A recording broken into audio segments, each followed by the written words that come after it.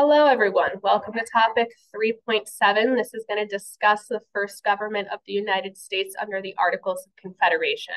So through this, we want to be able to explain how different forms of government, excuse me, different forms of government developed and changed as a result of the revolutionary period. And this first one um, is really very much a test run that we're going to have to go back to the drawing board for. And I think that's sometimes why students struggle with the Articles of Confederation is because it's something that's no longer around today. However, we do learn some very distinct and important lessons about government and representative government and federalism that help us get it right with the Constitution. So, to start us off, we're going to look at the organization of new state governments that occur after the American Revolution.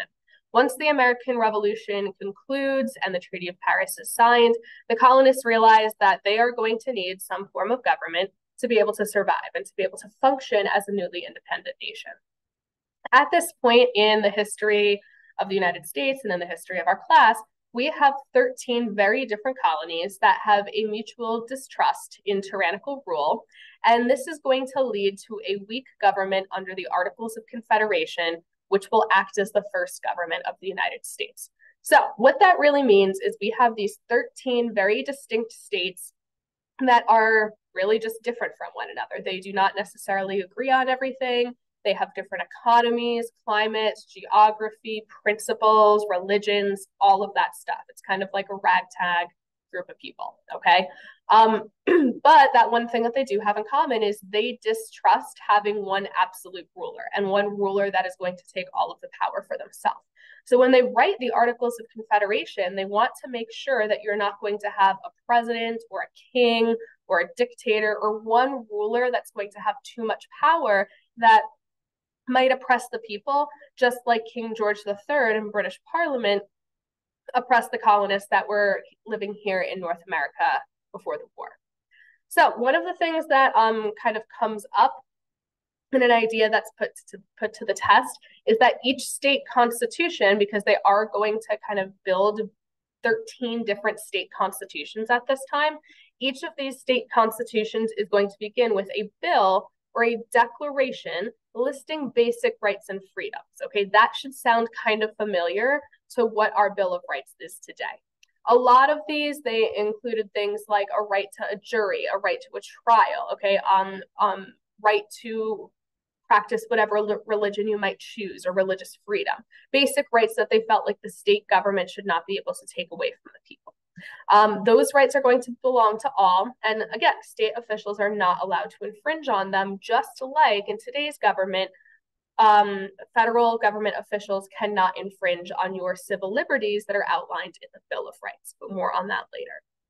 They are going to have a separation of powers in each of these state constitutions. They do have three branches of government in every single state in the United States, but it is separate in all of the different states' constitutions. So you're going to have a legislative branch that is going to have um, that is going to elect two. Sorry, is going to elect a two House legislator. You're going to have an executive branch um, that is going to be the governor, essentially, which will be elected by the people. And then you're going to have a judicial branch. Okay, the judicial branch is going to create a court system for that particular state. And there are going to be checks and balances between all of those three different branches executive, legislative, and judicial to protect against tyranny, meaning that the legislative branch is going to have certain powers to check the executive branch, but the executive branch will have some powers to check the legislative, and so on and so forth. Okay. Voting. All white males with land um, who owned land could vote in any individual state. Certain other states, though, like we saw in our assignment in class, they might drop the property qualification for being able to vote. Um, certain states might have other different voting parameters, but generally speaking, in all 13 states, if you are a white male who owns land, you will be able to vote or hold public office. Same um, with office holding. This, though, you're going to need pretty much a property qualification for. Okay. Although you can vote without owning property or having wealth, um, you might not necessarily be able to hold office. Okay. Um, that's something that is pretty common throughout all 13 state constitutions at this time. All right, so the Articles of Confederation themselves. So I just spoke about the state governments, okay, and how the state governments operate, what the jobs of the different branches are, etc. That's not necessarily something that's taken into consideration at the federal level, okay? Dickinson, when he is writing the Articles of Confederation, he wanted to protect individual states when it came to the articles, and he was going to be the one who obviously drops them. Okay. He also is looking out for the rights of the individual. He doesn't think that the federal government should have too much power. He doesn't think that it should have too much power over the states. And he doesn't think that the federal government should be able to limit individual citizens' civil liberties.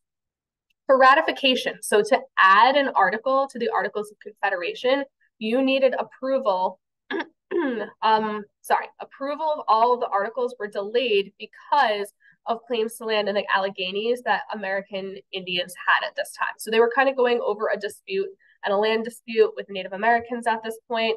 They were trying to get a vote to pass the Articles of Confederation, and that got delayed. That's honestly not 100% important, but I just throw that note in there. Okay. The structure of the government itself the central government or the federal government is going to have a one house legislator. Okay. So it's just one body of people, kind of almost like the House of Burgesses. It's just one representative assembly that will have representatives from each of the 13 states. So you will have a representative from Virginia, you'll have a representative from New Jersey, you'll have a representative from New York. Everybody has one. Okay. They have equal representation. Um, in order to add an article to the Articles of Confederation, nine out of the 13 people sitting on the legislator would need to approve that article to pass that law or to pass that article or ratify it. Okay, so every single time something is proposed in the federal government, nine out of the 13 have to approve, which is kind of difficult. That is a pretty good majority. And as we know from our own Congress today, um, people in the legislative body do not always agree that starkly on everything.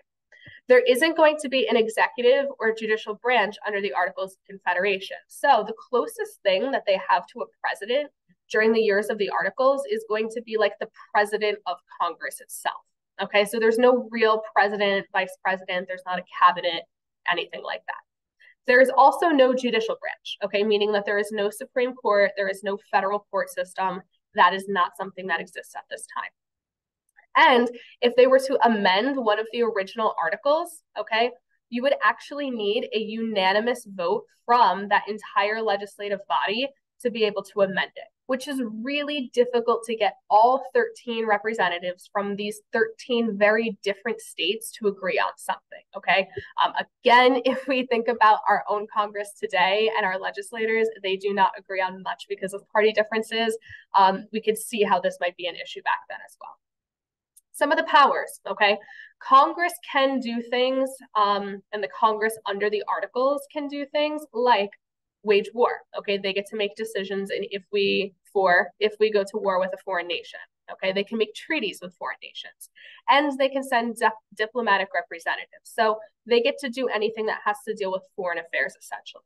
Okay, they also are able to borrow money from outside nations as well. Um, one thing that they cannot do, or actually a few things that they they can't regulate commerce or collect taxes for the states. So if um, we had two companies, let's say there's a company in New York trading with a company from New Jersey. If they are entering a trade dispute where they can't get along, the federal government, under the Articles of Confederation, can't come in and state any rules or laws. Okay, that's just going to have to be disputed between the states, which runs into some problems. Okay, in addition to that, the federal government, because the founders and the framers of the Articles of Confederation, because they were so still scarred, I guess, from the American Revolution and the excessive taxation that the British imposed on the colonists, um, they made it so that the federal government was not able to collect taxes from the states either, which again is problematic because if the federal government can't collect taxes, they can't pay back their debts. They can't build roads, bridges, other infrastructure. They can't pay a military. Um, they're not able to come up with these funds that they need to run a government smoothly or run a country smoothly. And again, if the states were going to have to decide on a federal tax that was going to be imposed, every single state had to vote on all taxes. And again, that puts a lot of barriers into place to be able to generate revenue. So again, these are just some key issues that we see pretty early on that are happening. So the United States under the Articles of Confederation, okay, the government was supposed to be weak. All right, that was the idea. And ironically, that actually turns out to be the problem. For all of the reasons that I stated on the last slide, right, it's really difficult to function with some of these parameters put into place, and it's hard to function effectively. However, there are going to be some accomplishments under the Articles of Confederation. The first is independence, okay? The United States government, under the Articles of Confederation, they did negotiate peace with England, okay? And they declared their independence formally through the Treaty of Paris. So that's the first important thing. And the second thing that the government was able to do under the Articles of Confederation is they passed the Land Ordinance of 1785. This is a policy, basically, for surveying and selling Western lands. Okay, so all of the land in like the um, land ordinances in the Northwest Territory. That's kind of like some of the states on this map here. What the Land Ordinance of 1785 does is they can survey, so explore the land, see what's out there. They can sell it to other Americans to start settling a little bit further west. And it's also going to fund public education in those areas, which will be beneficial to the Americans who move there. Nor- the Northwest Ordinance of 1787, that's going to be the territory between the Great Lakes and the Ohio River, and it's going to have policies of becoming states. So it essentially is going to outline parameters for statehood that your state or your territory needs to hit a certain population requirement. You would have to draft a constitution, it would have to be approved by Congress, and then that territory could file for statehood and become a state. Um, there is going to be limited self government in a lot of these new territories because they're not quite states yet. And slavery is going to be prohibited in these states that are a part of the Northwest Ordinance of 1787. Okay, so Ohio will never have the opportunity to have slavery. Indiana, Illinois, et cetera, et cetera, they will always be free states essentially. Um, there are going to be schools out there that are funded by some of the land ordinance of 1785. There is a lack of slavery, and that makes the land attractive to both white and free Black settlers. So we see that some of these populations will be relatively diverse.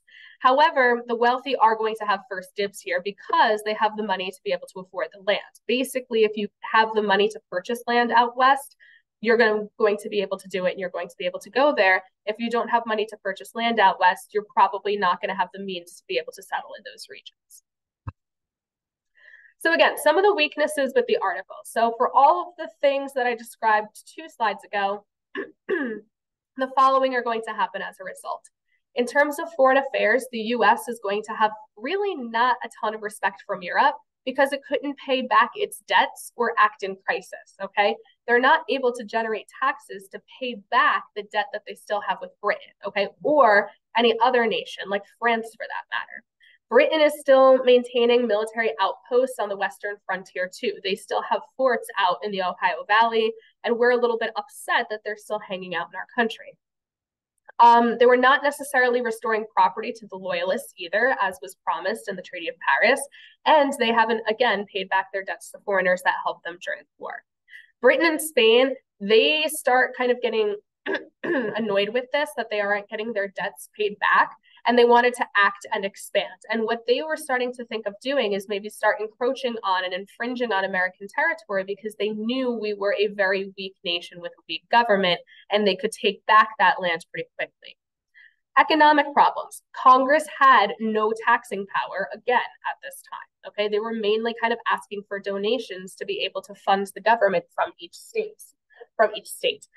And so states did have, have a ton of unpaid debts themselves. Okay. Like the state government of like Georgia, let's say, they may owe money still to the British government or wealthy people over back in Britain.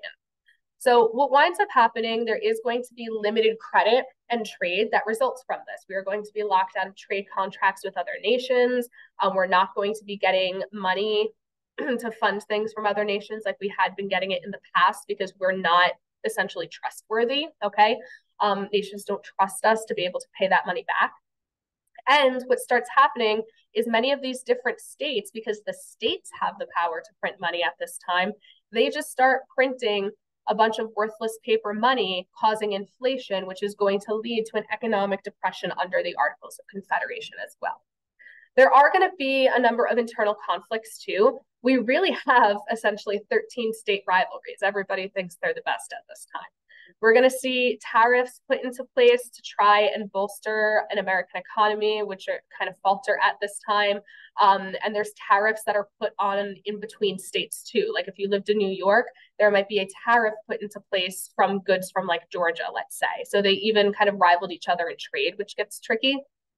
Um, and they had restrictions on each other. There are also going to be boundary disputes, like if you were on the border of like let's say like New York and Pennsylvania, Pennsylvania might think that they have more land than they actually do. New York might think that they can bleed into Pennsylvania territory, and the federal government can't really make a call on that. They don't have enough power to be like the the middleman essentially.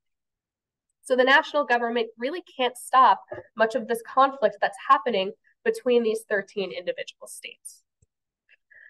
Shays Rebellion is where this all kind of comes to a head. So Shays Rebellion happens in 1786, and I would say that this event is important for a couple of reasons. It's going to show American Americans the true weaknesses of the Articles of Confederation. It's going to force them to draft a stronger government under the Constitution. And we are going to compare Shays Rebellion to a later rebellion called the Whiskey Rebellion in a different topic. So this does come back up again. So Shays Rebellion is where Captain Daniel Shays, who is a farmer and a Revolutionary War veteran, he is going to lead other Massachusetts farmers in an uprising. And they're uprising against the high state taxes that are put into place at this time. They are rebelling because they are constantly being imprisoned for debt because they cannot pay those taxes or they cannot pay money back to people with power or the state government. And they also don't have enough paper money in Massachusetts at this time either. The economy is essentially completely eroded, and the state government in Massachusetts is taking it out on the people and these poor farmers rather than coming up with solutions to these problems. So what winds up happening, they're going to stop the, the um, collection of taxes and they are going to force a close of debtors' courts. This is what the rebellion does, okay? They are also going to march to the Springfield Armory and seize weapons from the federal arsenal, and they're going to try to until the state militia stops them. So, this is a pretty radical rebellion. It disrupts the government. Many people are harmed along the way. They try to steal um, weapons from the state militia, which could be potentially dangerous. And this really shows that, like, the federal government under the Articles of Confederation cannot get a handle on this new country, and things need to change. Okay, so that is your information for 3.7. For 3.8, we are going to talk about how Americans are going to fix the problems of the Articles of Confederation uh, through the Constitutional Convention. So you can go ahead and read that chapter in AMSCO and then come back here to watch the video.